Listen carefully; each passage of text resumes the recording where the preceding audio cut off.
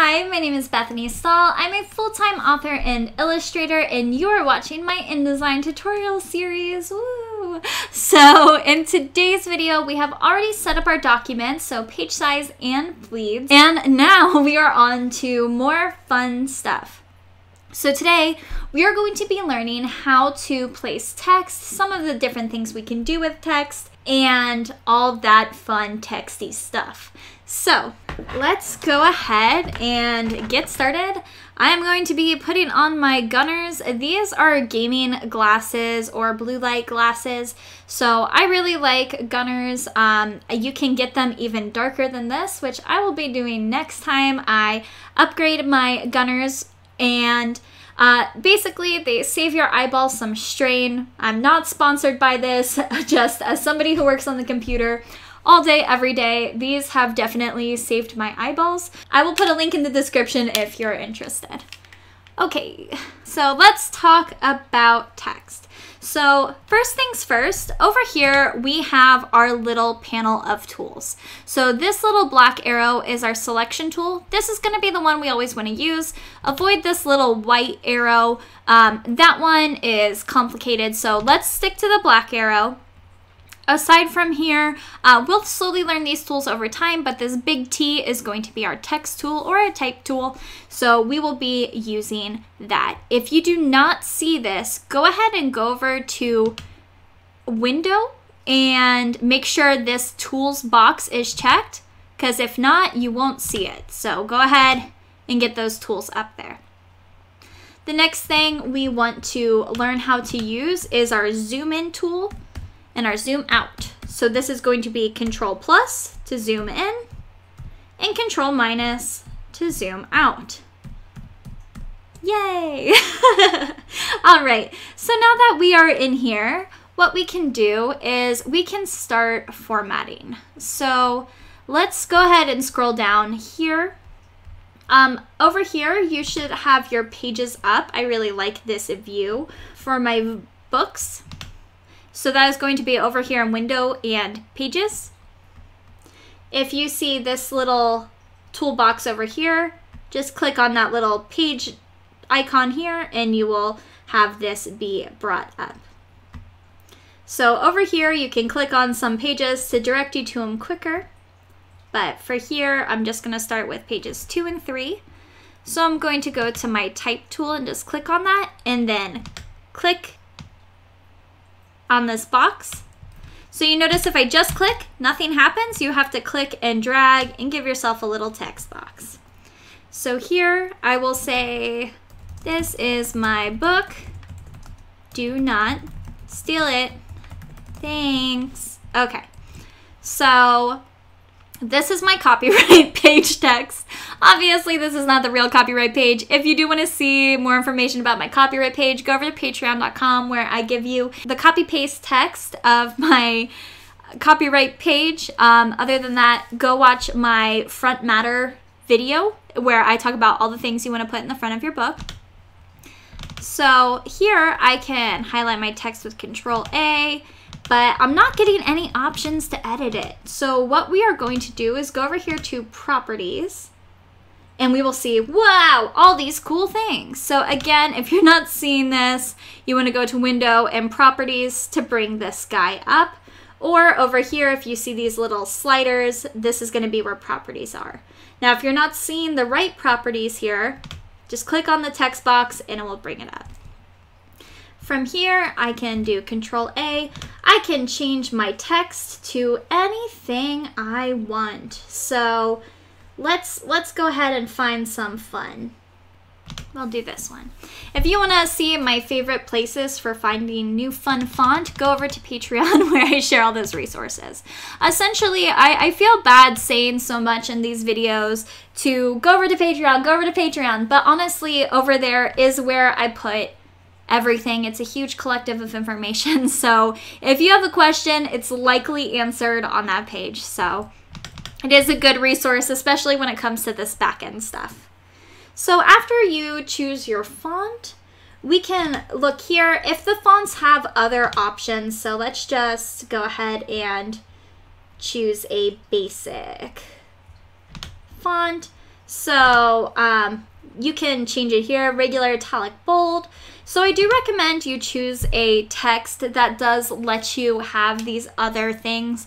Um, if you are doing a children's book to where you want italics or anything of that sort, check that out first with your text options because there are some fonts that don't have anything fancy with them. So I have formatted full books in a font that I loved only to realize they don't have italics and I need italics. So definitely check that out first before you format your whole book. So if I have font that I want to keep going on to the next page, but I don't want to just keep copy and pasting page for page, what you can do is this is my book with all my information and this text goes on and on and on and on. So what you see here when we grab the black arrow tool is this little red plus. If we click this and click somewhere else, so if I want this text to continue over here, I can see that what I was typing is now over here. But if I make this bigger, it will come back over here. So basically, it's a running text box that will let things go on. I don't recommend this for children's books, but I do recommend this for novels. And if you are interested in formatting novels, that will be coming in the very near future with how I'm formatting my YA novel in InDesign. So for children's books, I do recommend just a basic little text box here.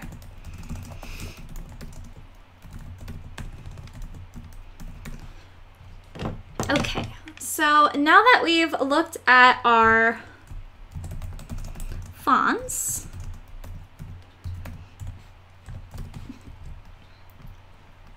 we can go over here and I can make this bigger. I can make this smaller. Um, this is really cool right here. This is your leading. So what this will do is separate your text.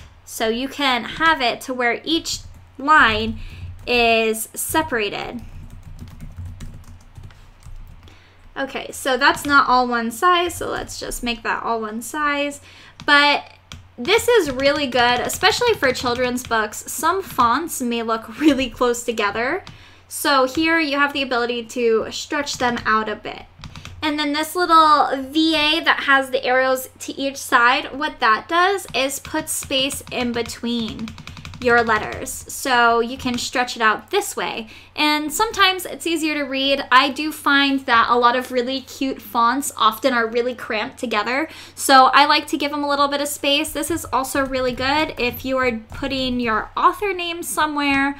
Um, I think it looks a lot more professional instead of having your name like this, sort of giving that very regal space. So having it a little bit more spaced out, um, that could be really cool and an option for you to do. So that is basically the basics of this little grouping. Now, if we go down here, we have our justification settings. So centered, align right, all of these fun sorts of things for children's books. I do recommend that you either justify it on the left or you do ragged right. Um, either way will work. I, I think it's a little bit cleaner if you have it justified, but choose what looks best for your books. There are certain books that I think look better with Ragged Right. I think there's other books that look better justified. So definitely play. Uh, in some books, if you have so little few words, you can kind of pop your words around and that doesn't really matter. So play with your settings and see what looks best.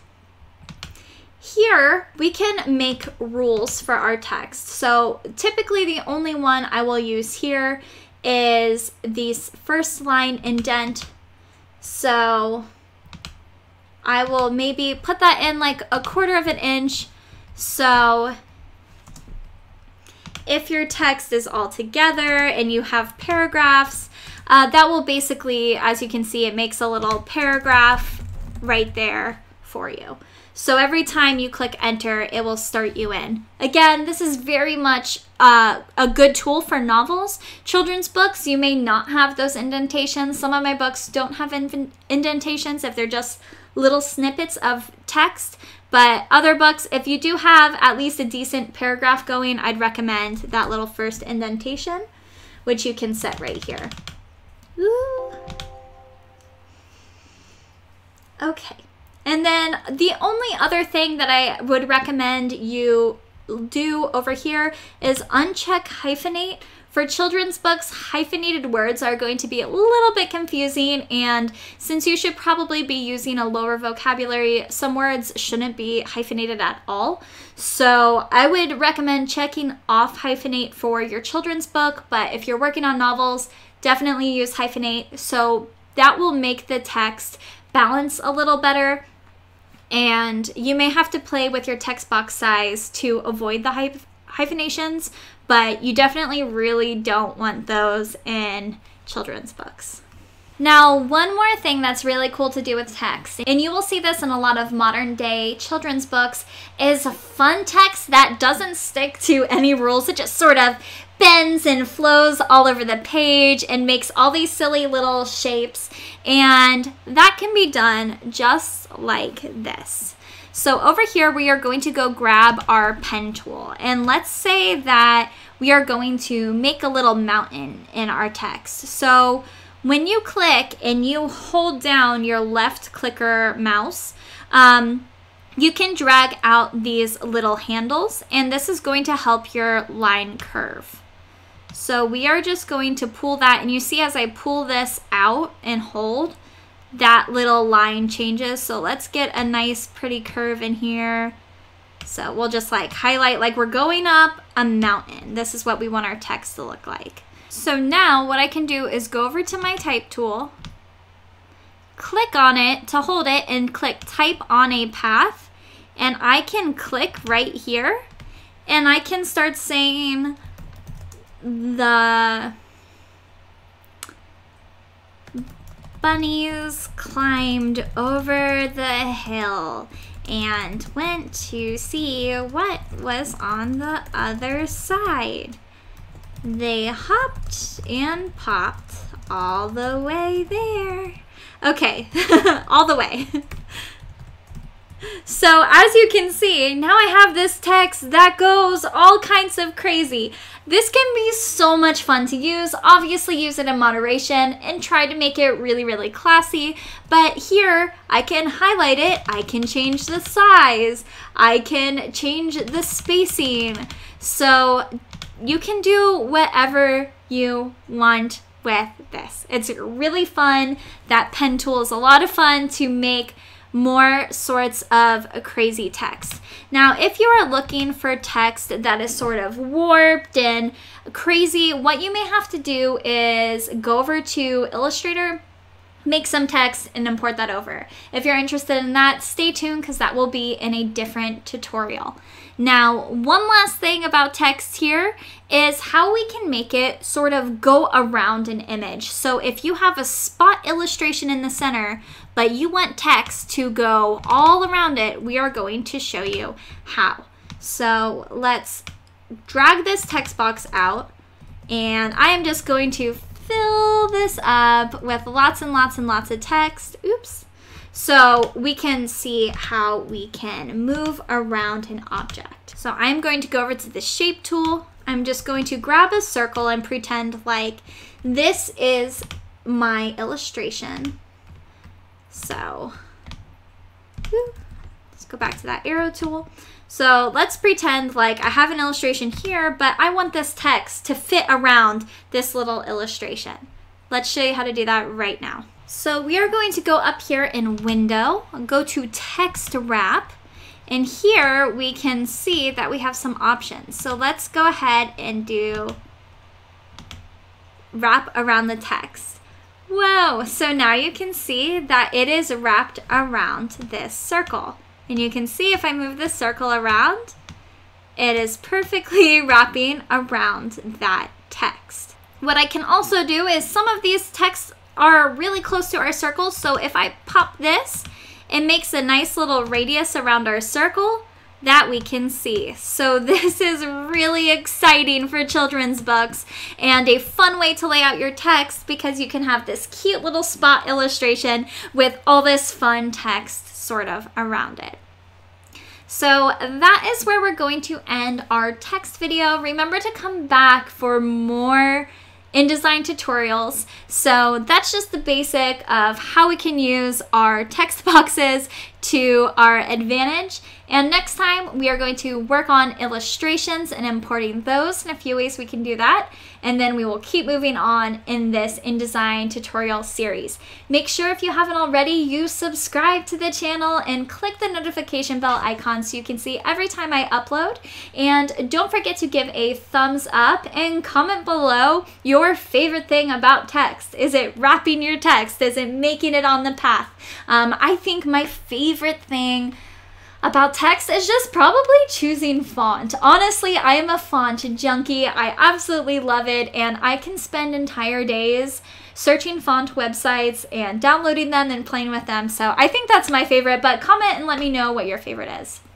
If you're looking for more behind the scenes tutorials, documents, and more, head over to patreon.com slash Bethany Stahl. And if you want to learn more about publishing, visit bethanystahl.com slash classes where I have a ton of free content over there that you can peruse. And that is also the directory for my Patreons to direct them back to Patreon with any other information. So if there's something over there that you may want to figure out, it will direct you to that exact Patreon article. So I hope this helped and I will see you all in the next tutorial. Thanks so much for watching. Bye. See you next time. Woo! Happy publishing.